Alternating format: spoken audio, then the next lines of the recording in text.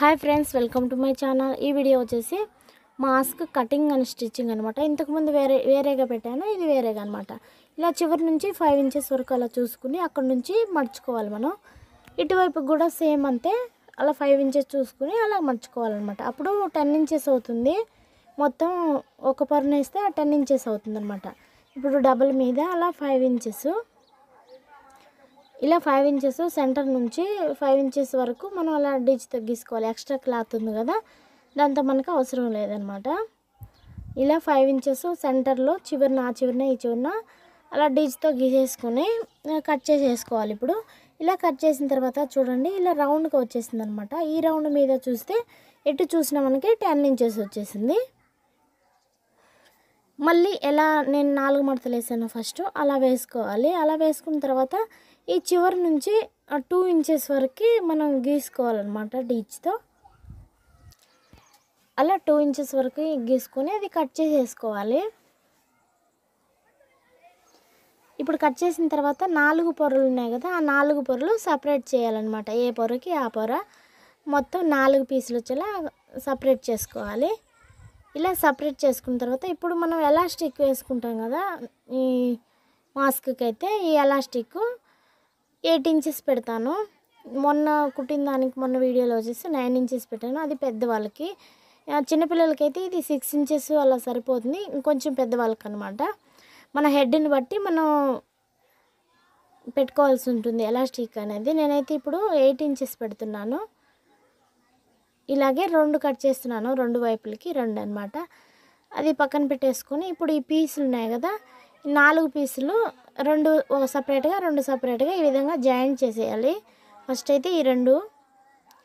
ఈ two inches cut చేసిన వైపు కాకుండా ఈ ఎక్స్ట్రా ఉంది కదా ఆ వైపు అనమాట ఆ వైపు ఇలా రెండు జాయింట్ చేసుకోవాలి. దేనికి అది జాయింట్ చేసుకోవాలి?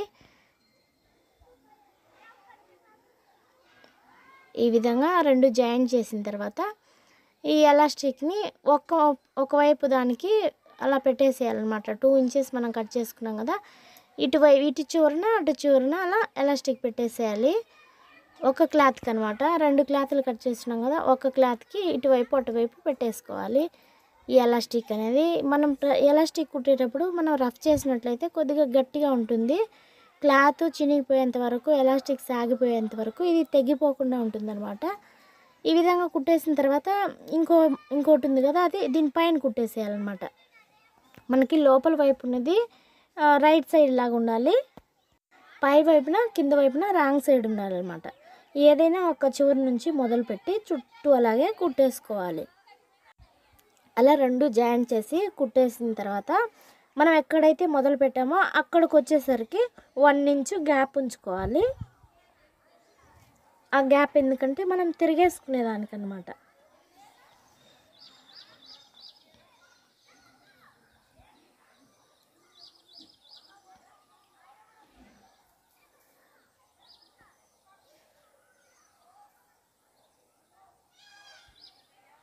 విధంగా ఆ చివరికి మనం మొదలు పెట్టాం కదా. ఒక వన్ ఇంచ్ గ్యాప్ ఉంచుకొని నేను దారం అనేది తీసేసాను. ఇప్పుడు ఆ గ్యాప్లోంచి ఈ లోపల ఎలాస్టిక్ అది ఉంది కదా అది మనం తిరిగేసినట్లయితే ఈ రైట్ సైడ్ అనేది పైకి వచ్చేస్తుంది.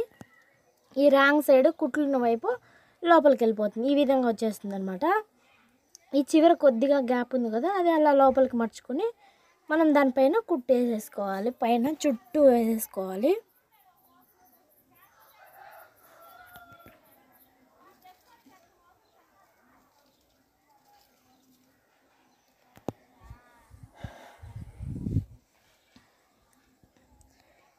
అంతే మాస్క్ అయితే రెడీ అయిపోయిందండి. చాలా అంటే చాలా సింపుల్. మనకి ఎలాస్టిక్ లేకపోయింది అనుకో అందరికీ ఇళ్ళలో ఎలాస్టిక్ ఉండదు కదా. ఇప్పుడు మనం ఏ ప్లేస్లో అయితే ఎలాస్టిక్ పెట్టామో అదే ప్లేస్లో క్లాత్ నాడా పెట్టేసుకోవచ్చు. అవి కట్టేసి కట్టుకోవచ్చు అనమాట ఈ విధంగా రెడీ అయిపోయింది మాస్క్ అయితే ఈ వీడియో నచ్చితే లైక్ చేయండి షేర్ చేయండి. నా ఛానల్ని ఫస్ట్ టైం చూసేవాళ్ళు సబ్స్క్రైబ్ చేసి నన్ను సపోర్ట్ చేయండి. అలాగే మన ఛానల్లో గివ్ అవే రన్ అవుతుంది. ఆ వీడియో లింకు డిస్క్రిప్షన్లో ఉంటుంది.